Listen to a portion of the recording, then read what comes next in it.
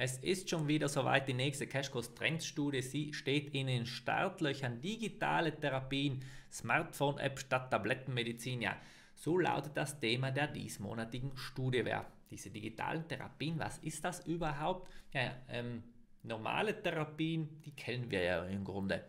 Wir sind krank, wir schmeißen irgendein Medikament ein und hoffen dann, dass dieses auch äh, wirkt, ohne ja, irgendwelche äh, doofen, bösen Nebenwirkungen zu haben. Digitale Therapien, die setzen ganz anders an. Also die versuchen schon bereits beim unserem menschlichen Verhalten anzusetzen, beziehungsweise ja, oder dadurch auch schon frühzeitig, bevor eine Krankheit äh, überhaupt erst so wirklich schlimm wird.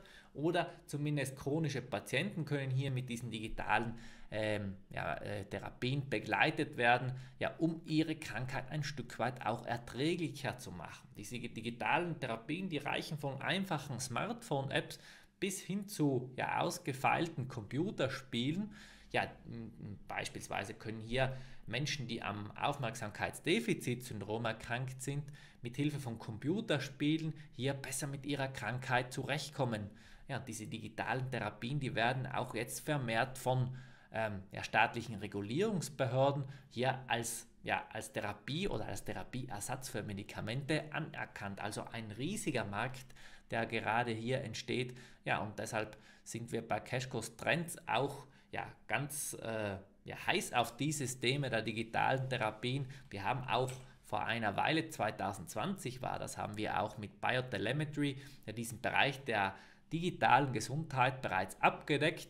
Die Aktie, äh, ja, die hatten wir eigentlich nicht lange im Depot. Das lag aber nicht daran, dass das Unternehmen irgendwelche Probleme hatte, sondern dass Philips das Unternehmen bereits aufgekauft hatte, ja nicht einmal ein Jahr nach der Depotaufnahme.